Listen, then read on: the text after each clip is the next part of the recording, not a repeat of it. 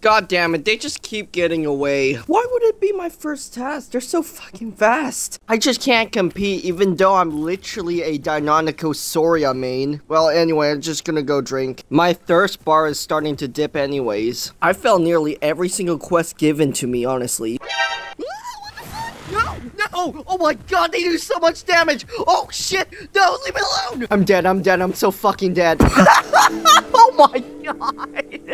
That Megalania! How the hell did I not notice it? That thing literally ambushed me! I was expecting Sarcosuchus or some shit. I did not realize Megalania players do this as well. We're gonna slow this down just so I can give you an idea how scared I was during that situation. I just began drinking and this Varanus priscus came out of literal nowhere. Like, I did not even know that Megalania could actually ambush a player in water. I hope this isn't meta. I hope this tactic isn't meta, otherwise I'm fucked.